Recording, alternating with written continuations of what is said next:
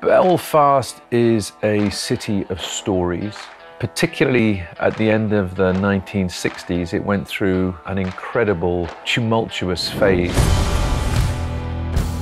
It's a very, very personal remembrance of that time. You wouldn't want to be the old man out in the street. Touch my family and I'll kill you. The story is told through the eyes of a nine, 10 year old boy your Buddy from Belfast, where everybody knows you. This is a nine, 10 year old boy who already was watching a lot of television. I actually did feel I was writing a Western and one that was sort of constructed in the mind of the 10 year old Buddy. Was that our side that done all that? There is no our side and their side in our street. There was always a story about the point in anybody's life where there is a sort of crossover into the world of adulthood.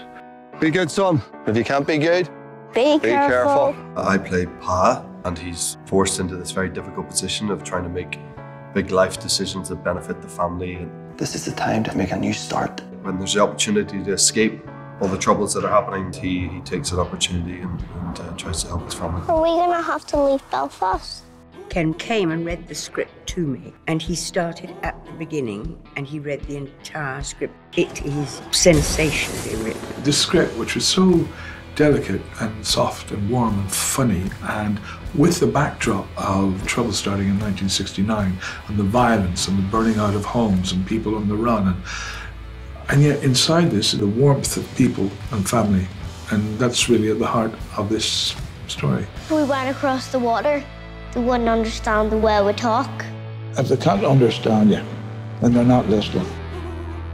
In stories like this, maybe we understand that we are not alone when, we when we look at these reflections of other lives.